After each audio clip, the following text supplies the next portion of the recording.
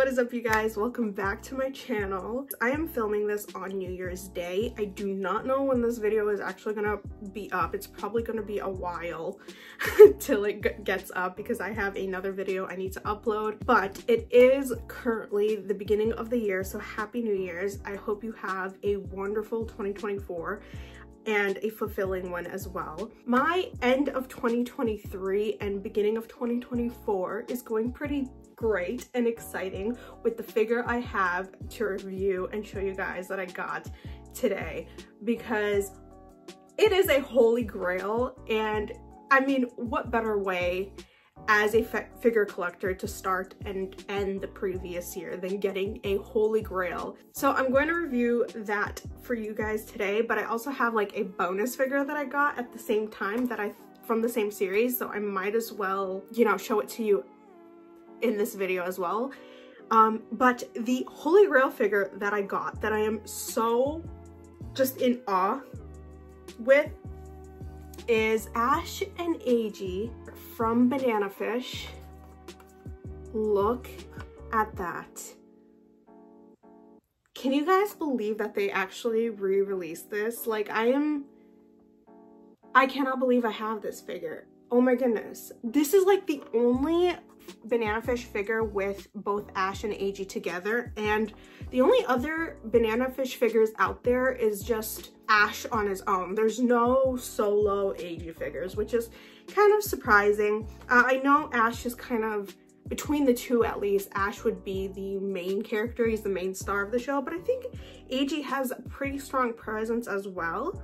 Um, but anyways, I'm just glad that we do have something of them together. I did unbox it just because I kind of wanted to sit with the figure a little bit and uh, digest it and take it in instead of going in head first and just reviewing it on the spot because I do tend to get way too excited and I'm usually like so in the moment, especially if it's like a holy grail too, that I kind of disregard anything that I don't like about a figure. I'm I got hard eyes, so I did sit with it for a little bit and I did find some things that I don't like about it, but again, I still really love the figure so much and I'm, I, it's still, it's still considered my holy grail either way. But before I do that, I do want to show you the box because I, I mentioned it before in previous videos, but I am such a sucker for package design and I want to show you how cool this box is. So first off, we have the we have the banana fish colors the yellow and the black. And it's got this like very faded um or somewhat faded uh new york imagery on there right? And then we've got the sides that have this like die cut it out imagery of new york as well and then we've got the back, which shows the background of New York again and uh, the figures. And then again, we've got this New York imagery and then the title. But my favorite part is the inside of the box. Look how beautiful this scene of New York is. I love this almost groggy, sunset-ish look to it. It is so neat. Um, maybe if I open the box, you can see the colors better, but I mean, oh God, I love, but you're not gonna be able to see the image straight, but like, look at that. Look how beautiful that is. The coloring is so true to the series. Oh, and you know what? I just noticed this. You actually can take the insert out and I'm guessing you can put the figure right over here. So it's got the New York back setting too. Oh, that is so neat. See, if I had unlimited space, I would display this with it, but I do have limited space. Also, this is cardboard and I'm too paranoid that I'm going to ruin it somehow. So I do not trust myself. So it's best to just keep it in the box and appreciate it from there. Okay, so now let's talk about the figure itself. I'm going to first list off the stuff that I do really love about it. And then um, I'm going to list off some things that I think could be improved. And then we'll just go from there. And then afterwards, I will show you the bonus figure that I have. Um, it is an Ash figure and yeah, we'll talk, I'll show you that after this. So the first thing is, and I already mentioned it before, I am in love, just in love with the fact that we have something of these two together. Not only is just of them together, but it's very much I don't know. I feel like there's a lot of softness in this figure.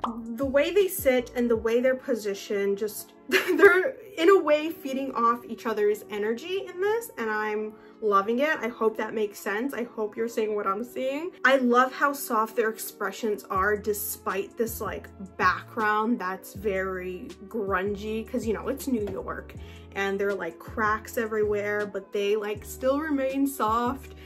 I don't know. It just, I, I don't know. That's how I see it. I, I, I, mm, I think it's really, really, really sweet and I do really love it. I do really appreciate that sort of parallel. The other thing that I really, really love is kind of simple, but it's just the graffiti. I think it beats just having this plain concrete. I like the handwriting. I love like the messy smudges. It's really cool. I also, this is specific to Eiji, but I really love his outfit. I love his little half tucked shirt and I love the little folds, not only on his collared shirt, but also in on his pants. I think they're so cute and I think I think it's such a good look on Eiji. He's so soft. Now, before I move on to the things I dislike, I did want to mention something I'm kind of, that I kind of go back and forth on. I don't know if I dislike it or like it. I don't know, maybe I'm just like indifferent to it because I can see both the positive and negative sides of it. But it's the fact that Ash doesn't have a peg that's stuck to his bottom side to sit on the base. It's made in the way that a noodle stopper is made. So you can just pick him up and he's got, he's just got like a flat bottom where you can just place him. So on one side of it, I do like it because you're not making holes in the figure, let's say, and you can you can use this as a noodle stopper or take it and display it elsewhere. But I'm like, am I ever gonna really do that? Or is anyone really who has this figure ever going to do that. I highly doubt it. I feel like they would just keep this figure with Eiji. So let me know what you think. But to be fair, he does sit pretty nicely on the flat surface of the base. I'm just worried for the time that comes where I'm going to dust my figures and pick him up and forget that he's not actually connected to the base like Eiji is.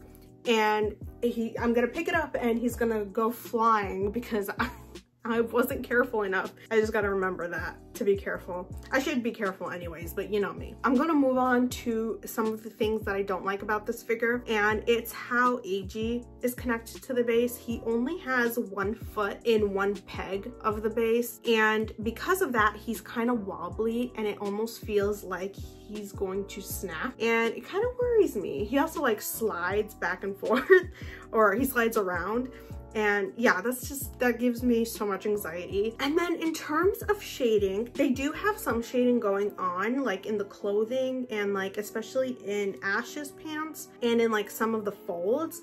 But I think the main part of the figures where there needs to be shading is in the hair. There's like, or what seems to be like no shading at all. And their hair almost looks at certain angles um, maybe it won't show in the b-roll, but it does show more in person, I think. Shiny and almost wax-like. Despite those little complaints, still a holy grail of mine that I am so shocked that I have because my god, if you have seen the aftermarket prices on this figure, you would pass out. I, mm -mm. and you know what? We've gotten pretty much we did. We did get all of the Banana Fish figures re-released, even the Nendoroids. I will be honest though, I did not pre-order the Nendoroids. I know, I know. Those were on my holy grail list and they got re-released and when they got re-released, I decided not to get them. Only because I, I'm trying to hold back on Nendoroids, trying to hold back. Um, but also because this is the main one I want. And of, like I said before, I much prefer scale figures over Nendoroids. Don't look at that. um, but also because I, now that I have this bonus figure to show you that I got, which is this Ash figure that looks freaking cool. I think now that I have this, I now have, God, I hope I'm right. I have all the Banana Fish scale figures. So I have this one, I have the Holy Grail that I just showed you, which is by far my favorite. And then I have back there, I never did an unboxing video on it, I don't think. I have this like, I don't know, tuxedo uh, dressed Ash figure with the rose and everything. And I think that's all the scales from this series that there is. So I am okay with just having these. I don't think I need the Nendoroids anymore. Now that I showed you this figure, let's talk about it, shall we? Okay, so when it comes to this figure, honestly, since the day I knew this figure existed, I never thought that I would actually purchase it, to be honest. I didn't actually think I'd like it, but I took advantage of the fact that it was re-released and I was like, okay, I might as well just get it because it, it is Ash and it is a high demand figure, or at least was. And if I don't like it, I can always sell it, right? Um, I bought this figure and I kind of really dig it more than I thought that I would. And I think he's so cool. I think this is my second favorite Ash figure. Uh, my first one, of course, is the one, or I guess I should say my fav second favorite Banana Fish figure because there is no Eiji figure like we discussed. But I think my first would be, of course, the Holy Grail that I showed first. And then this would probably be my second favorite. And then my last favorite would probably surprisingly be the Tuxedo Ash figure that I talked about that I already have. This is pretty sick. I was not expecting this to go as hard as, I don't know, the images that I saw. I don't think the images online actually do, at least the prototype images, I don't think they do the figure that much justice. I think it looks way cooler in person. I will say I am not a fan of the large base. I understand it, but I'm not a fan fan of the size. I do though appreciate that he almost takes up the entirety of it so nothing at least almost nothing is going to waste but yeah just such a pain in the ass with space but you know it is what it is. I do really love the marble flooring. I, there isn't much shading or shading at all on the base, but I don't think it needs any shading because it is a marble floor, right? It needs to be shiny. He looks so badass. He looks freaking cool. He does have more shading, I think, uh, even in the hair than the Ash and Eiji figure which I really do appreciate. His hair is also more matted and isn't as shiny. I do love the little um, bits of blood going on. I think it's so cool. I do think he does have more shading or somewhat more shading than the Ash and Eiji figure, but I still think he can use a little bit more uh, like in the blood or maybe in the arms a bit. I just think he looks so badass. I love the scratches going on on his chest. I love the open shirt. I love how his hair is like splayed across his face like that. Very, very strong pose. He's got pretty sick rips again in his clothing and the back of his shirt has these like really cool folds can y'all tell I'm like a sucker for the folds and clothes? I don't know why, they just seem so satisfying to me to look at. This was like a little bonus figure that I got that I just thought I'd just show on here instead of doing a completely separate video. Thank you guys so much for watching this video. Again, I hope you have a wonderful 2024 and a happy new year, even though this video is going to come out way after then. Please make sure you like and subscribe and here's to another year of figure collecting. I will see you in the next one, which is hopefully, hopefully soon. Bye-bye, guys.